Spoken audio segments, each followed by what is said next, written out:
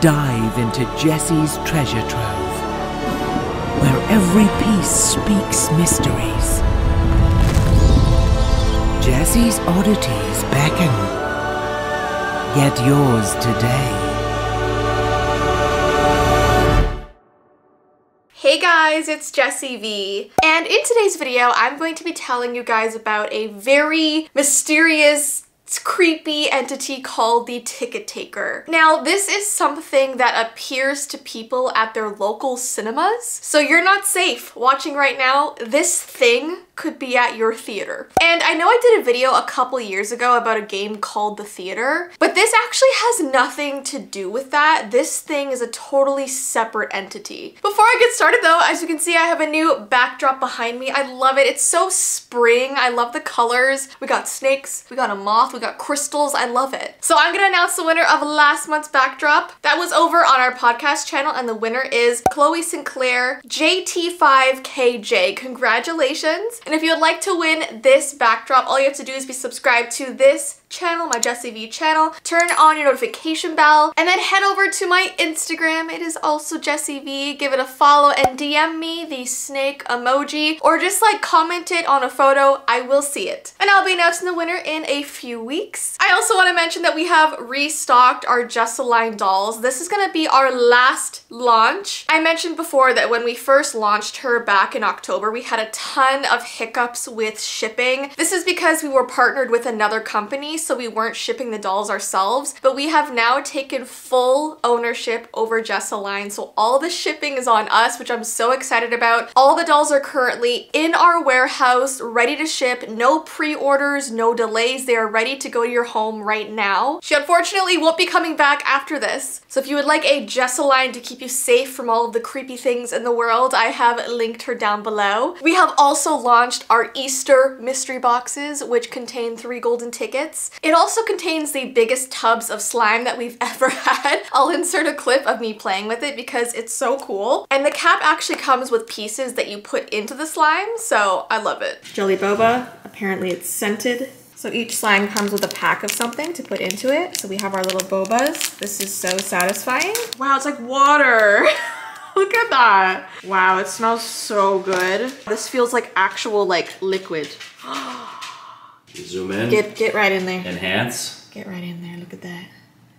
Look at that. We also have bunny sleep masks, pillow spray, we have skincare and bunny makeup headbands. We've got the cutest plushy keychains. And then we've got our super wiggly flying heads. You throw these, they go for miles, and they're so cool. So if you guys would like one before they sell out, I have linked it down below. Okay, so let's talk about the entity, the ticket taker. So back in the fall, people started talking about the ticket taker. Like I said, people say that he hides in your local theater, but upon further investigation, apparently this thing has been around for the past 13 or 14 years. The first instances being back in 2009 or 2010. So I would have been in the middle of high school. A number of people have tried to draw what he looks like and he appears to be a vaguely humanoid figure with large staring eyes and an oversized mouth and teeth bared. And he always seems to be shown in the shadows. So his actual full body can't be seen. It's mostly just his face. And because we mainly mainly just see him drawn, it's almost easy to assume that he's just a creepypasta. We don't actually have to worry about him. However, someone did find a very old post from 2010 on a forum. It shows this photo of a theater as the credits are rolling and this poster says, I thought you guys were kidding, but I just saw him tonight. Never going to my local cinema again. This creep was following me the whole time. And here's the actual picture. If you look at the far right, you can see a strange figure walking down the aisle with a pretty sinister face. Now this is the only actual photo of him that we have and one that shows his entire body. People think the ticket taker is attempting to blend in or just disguise himself as a human service industry worker. Now there are some reports of people actually interacting with this entity. They said they witnessed something taking their tickets at the movie theater. Something that didn't quite look right. In one case, someone said they saw graffiti drawn at the back of their local cinema depicting the ticket ticket taker, and this graffiti says the movie is starting with his very creepy face. One reported incident happened in the spring of 2010. We know this would have been the date because the incident happened in a theater that was showing the fourth Shrek movie, which is called Shrek Forever After. The couple arrived at the theater, purchased two tickets, and they went to enter one of the screening rooms. They were then approached by this shadowed person who reached out and asked them for their tickets. Now, here's what seems to happen after you hand him your tickets. He will tell you that you're in the incorrect screening room, and the film you are intending to see is playing in another room, somewhere else in the cinema. He will invite you to go with him to that other room. So you have a choice. If you stay in the intended room that you first walked into, everything will be fine. You'll watch your movie as planned. But if you believe and trust him and follow him to another cinema, you'll sit down and you'll witness the screen light up with a classic cinema countdown clock, and then you'll hear strange laughter echoing out of the projection booth. It is not known exactly what happens after this point because the people who claim this happened to them left the screening room as the countdown hit its final number. They got scared, they decided to leave, which was a good choice. But they did note that as they exited the room, they looked back and witnessed the ticket taker's face taking up the entire screen. There was another report from late 2009 when the movie Avatar came out. A group of friends went to the theater intending to watch it, but when they arrived, they saw that it was sold out. The only other film that had tickets available was one that they had never heard before, and it had a very gruesome title. Apparently this random film was called The Beheading, which